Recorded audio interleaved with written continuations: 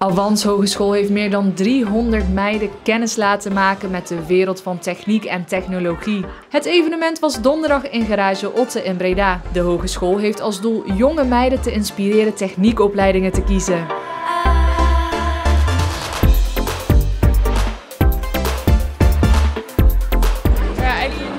Begin toen we hier naartoe gingen niet zo goed wat ik ervan moest vinden, maar als ik er eenmaal ben vind ik het wel leuk. In dat soort dingen zit er geen verschil in jongens en meisjes in de techniek. Eh, meer gezien voor jongens en zo, dus ik vind het wel leuk dat er een dag voor wordt gemaakt. Het is gewoon belangrijk dat eh, meiden ja, in het algemeen gewoon die kennis krijgen en ehm, dat die vooroordelen van tafel gaan. En het is niet per se alleen maar een mannenwereld.